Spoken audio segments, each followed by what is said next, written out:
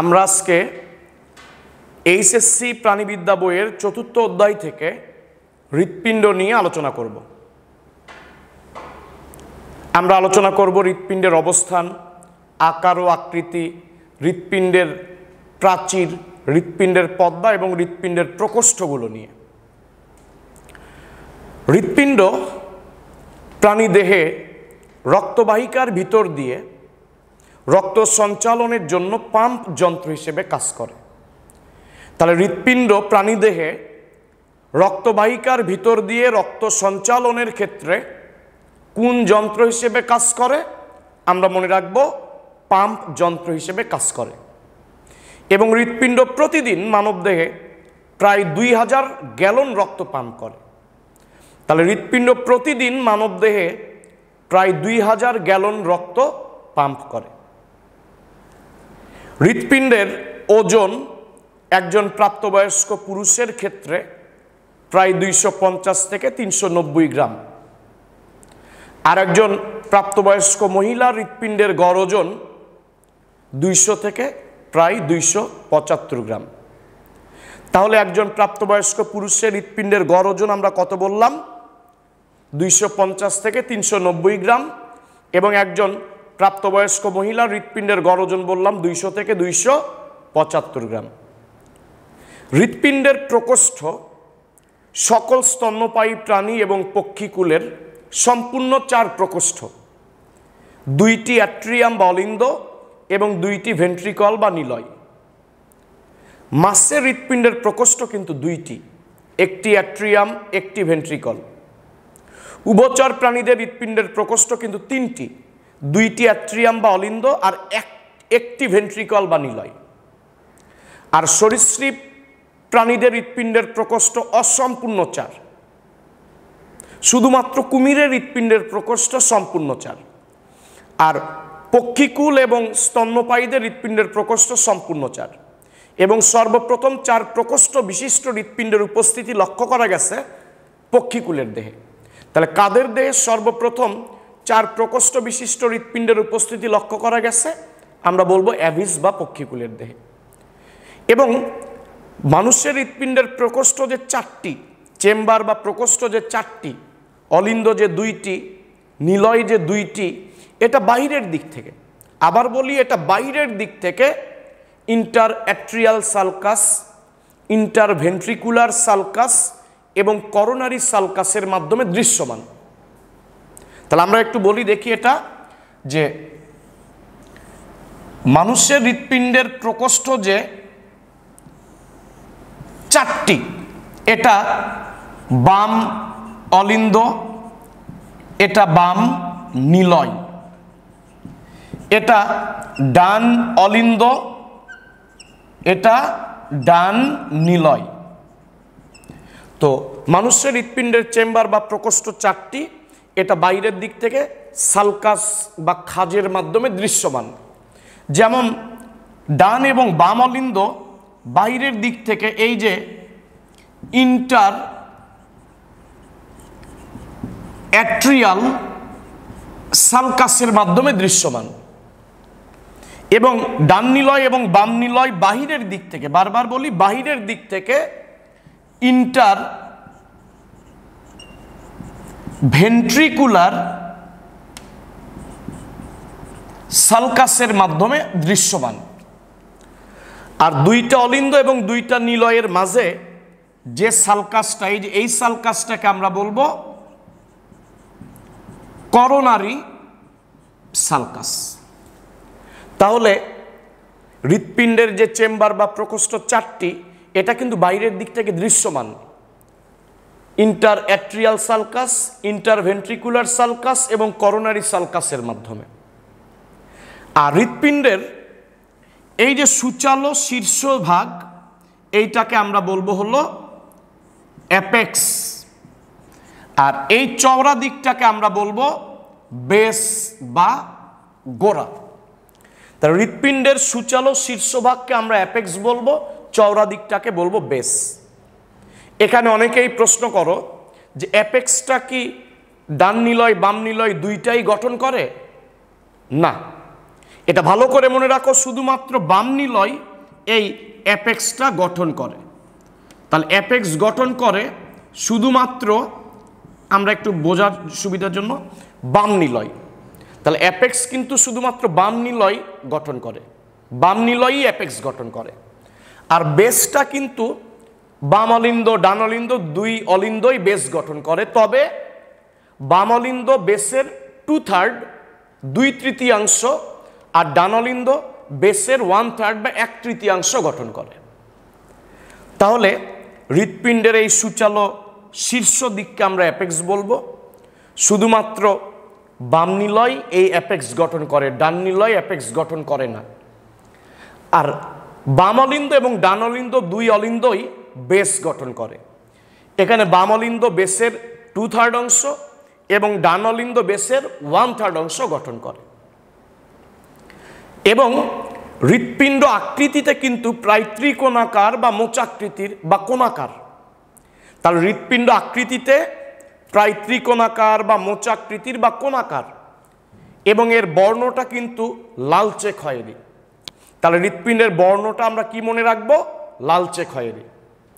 এবং হৃৎপিণ্ডের গড় দৈর্ঘ্য প্রায় বারো সেন্টিমিটার এবং এর গড় প্রস্থ আট সেন্টিমিটার প্রায়।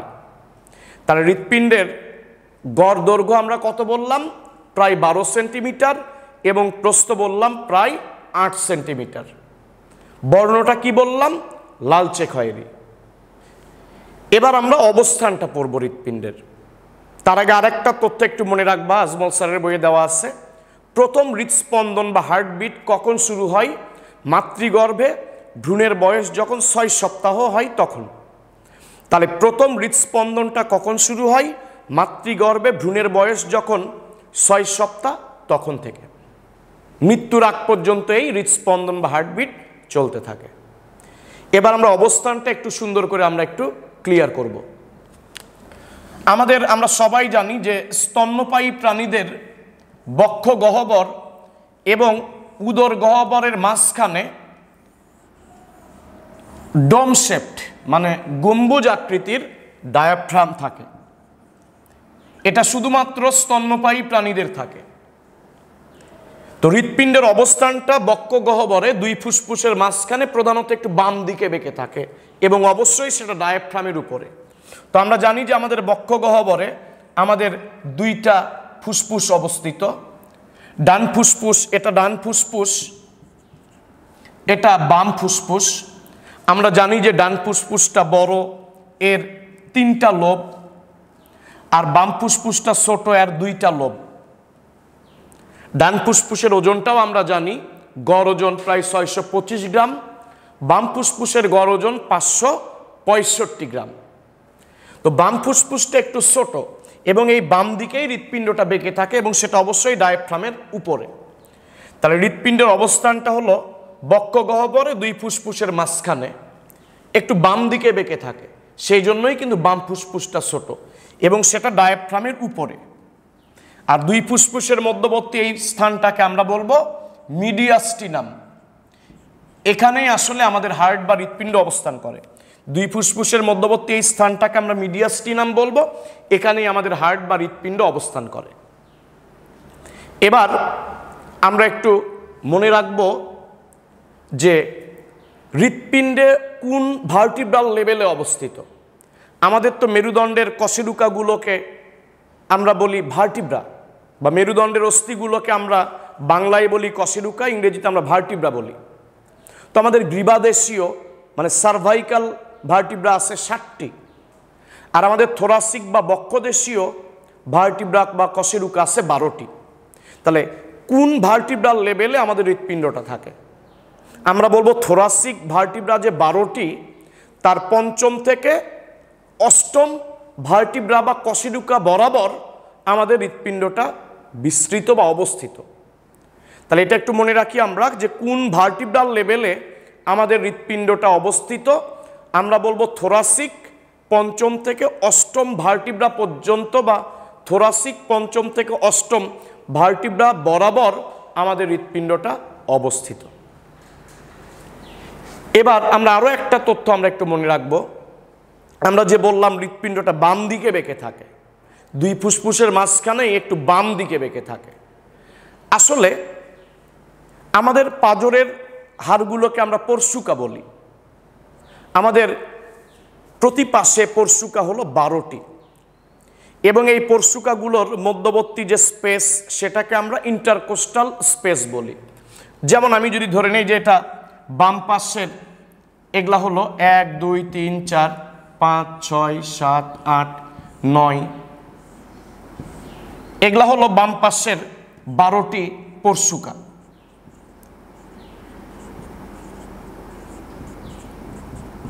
বাম পাশে বারোটা পরশুকা। তো এই পরশুকাগুলোর মধ্যবর্তী এই স্পেসগুলোকে আমরা ইন্টারকোস্টাল স্পেস বলব। তো বাম পাশের এই যে দেখো পাঁচ এবং ছয় নম্বর পরশুকার মধ্যবর্তী এই স্পেসটাকে আমরা পঞ্চম ইন্টারকোস্টাল স্পেস বলব। তাহলে বাম পাশের এই পঞ্চম ইন্টারকোস্টাল স্পেসে কিন্তু এই অ্যাপেক্সটা অবস্থান করে। তাহলে বাম পাশের ফিফথ মানে পঞ্চম ইন্টারকোস্টাল স্পেসে আমাদের অ্যাপেক্স অবস্থান করে। তো পঞ্চম ইন্টারকোস্টাল স্পেসটা কই? পাঁচ এবং ছয় নাম্বার পরশুকার মধ্যবর্তী যে স্পেস তবে বংশগতভাবে কনজেনিটাল বংশগতভাবে অনেকের অ্যাপেক্সটা কিন্তু আমাদের ডান পাশের, আমাদের ডান পাশের পঞ্চম ইন্টারকোস্টাল স্পেসের দিকেও থাকতে পারে বেঁকে। ওটাকে আমরা ডেক্সট্রোকার্ডিয়া বলব। ওটাকে আমরা কি বলব? Dextrocardia. তাহলে আমাদের স্বাভাবিক ক্ষেত্রে অ্যাপেক্সটা কিন্তু বাম দিকের পঞ্চম ইন্টারকোস্টাল স্পেসে অবস্থান করে। তবে বংশগতভাবে অনেকেরই আমাদের ডান দিকের পঞ্চম ইন্টারকোস্টাল স্পেসেও অ্যাপেক্সটা অবস্থান করতে পারে। তখন এইটাকে আমরা ডেক্সট্রোকার্ডিয়া বলব। তাহলে হৃৎপিণ্ডের অবস্থানটা কোথায়? বক্ষ গহ্বরে দুই ফুসফুসের মাঝখানে, প্রধানত বাম দিকে, ডায়াফ্রামের উপরে। তো অ্যাপেক্সটা কোথায় অবস্থান করে? আমরা বলব বাম দিকে পঞ্চম ইন্টারকোস্টাল স্পেসে। তবে অনেকেরই বংশগতভাবে ডান দিকের ইন্টারকোস্টাল, পঞ্চম ইন্টারকোস্টাল স্পেসেও অ্যাপেক্স থাকতে পারে। আমরা সেটাকে বলব ডেক্সট্রোকার্ডিয়া। আর যদি বলি কোন ভার্টিব্রাল লেভেলে, আমরা বলব থোরাসিক কশেরুকা বা বক্ষদেশীয় কশেরুকা যে বারোটি, তার পঞ্চম থেকে অষ্টম ভার্টিব্রা বরাবর আমাদের হৃৎপিণ্ডটা অবস্থান করে। এবার আমরা হৃৎপিণ্ডের পদ্মা এবং প্রাচীর নিয়ে আলোচনা করব।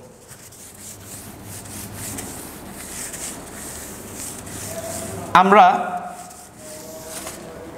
প্রাচীর এবং পদ্মা নিয়ে আমরা একসাথে আলোচনা করব। তো হৃৎপিণ্ডের প্রাচীর তিন স্তর বিশিষ্ট।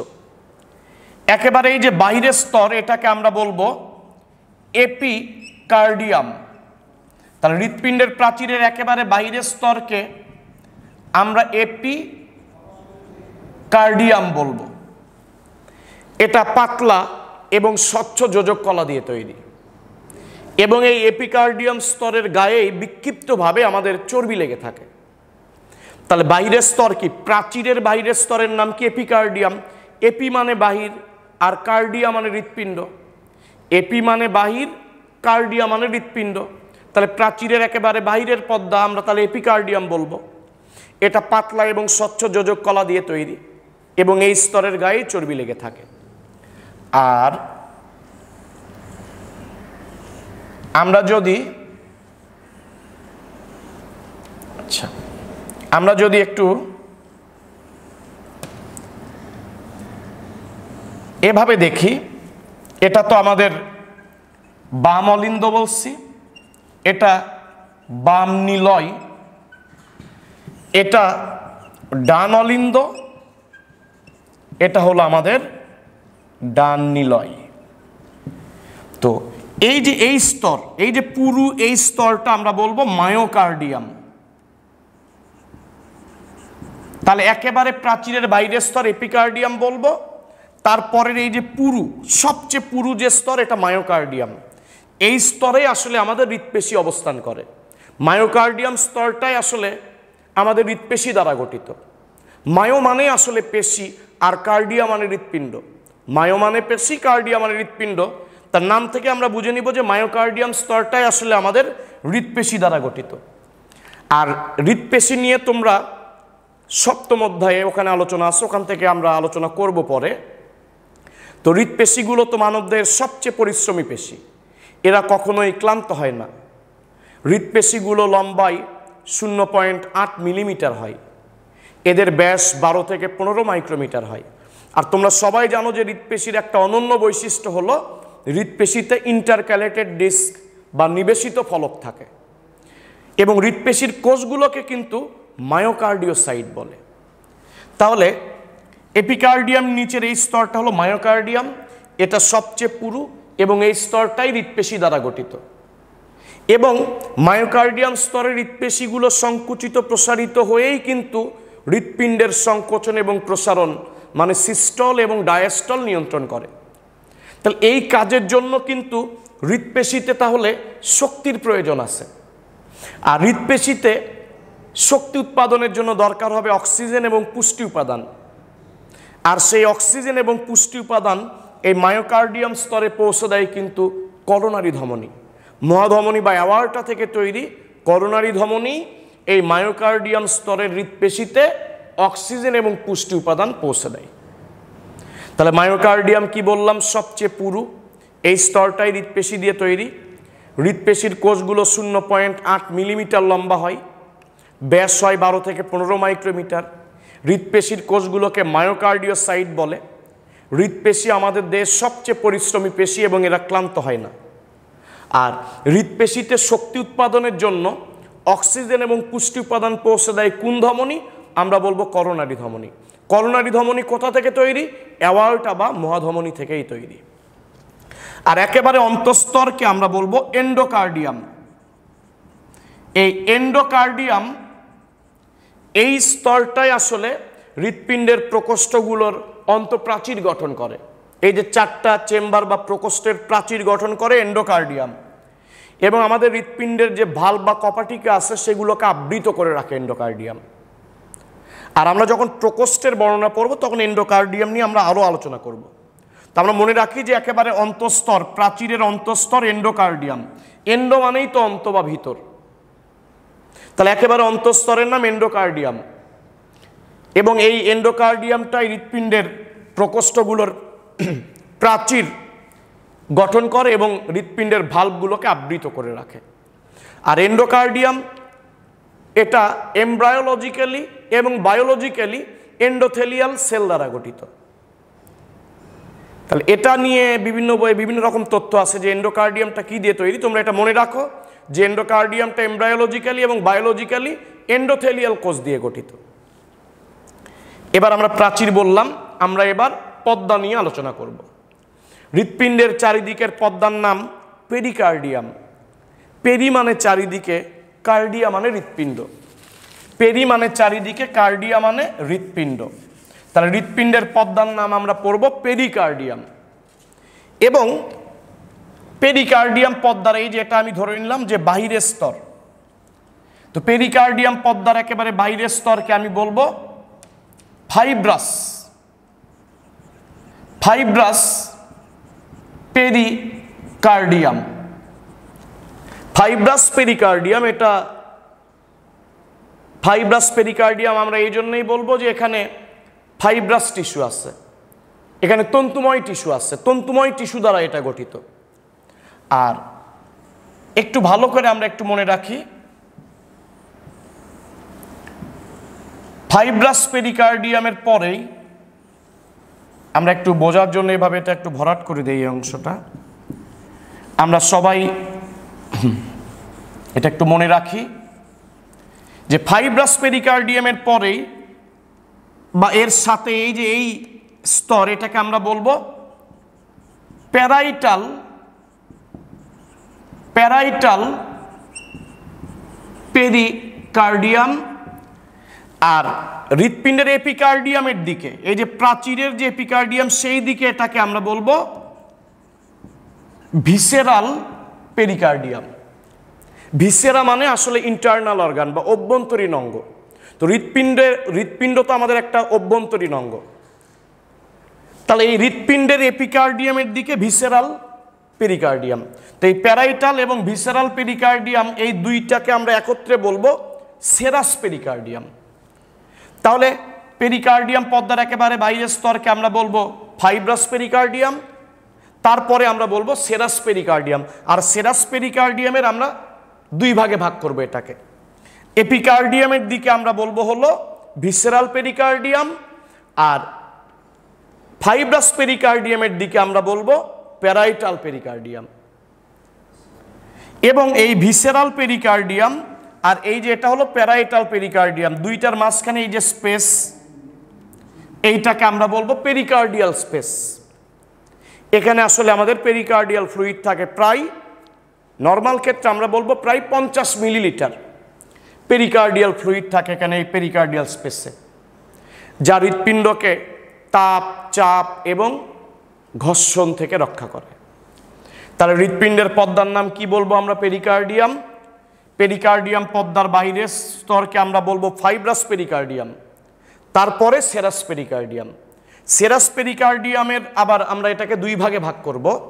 ফাইব্রাস পেরিকার্ডিয়ামের দিকে এইটাকে আমরা বলব প্যারাইটাল পেরিকার্ডিয়াম আর প্রাচীরের এই যে এপিকার্ডিয়াম, তার দিকে এইটাকে আমরা বলব ভিসেরাল পেরিকার্ডিয়াম।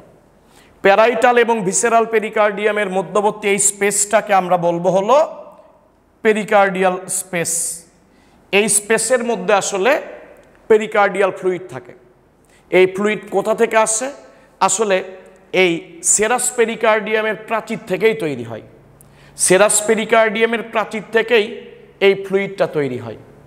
এই ফ্লুইডটা কি পরিমাণ থাকে? পেরিকার্ডিয়াল ফ্লুইড প্রায় পঞ্চাশ মিলিলিটার যার কাজ হলো হৃৎপিণ্ডকে তাপ, চাপ এবং ঘর্ষণ থেকে রক্ষা করা। আমাদের এই ভিডিওটা তোমরা বুঝতে পারছ কি না তোমাদের সামান্যতম উপকার হলো কি না এই ভিডিওটা দেখার পর? সেটা অবশ্যই আমাদের একটু কমেন্টে জানাবা। কারণ তোমরা যদি বুঝতে পারো, তোমাদের যদি সামান্যতম উপকার হয়, তাহলে আমরা এই চ্যাপ্টারটা পুরোটাই পর্যায়ক্রমে আমরা ভিডিও আপলোড দেওয়ার চেষ্টা করব। ওকে, ভালো থেকো সবাই, আমরা পরবর্তী ভিডিওতে দেখা হবে ইনশাল্লাহ তোমাদের সাথে।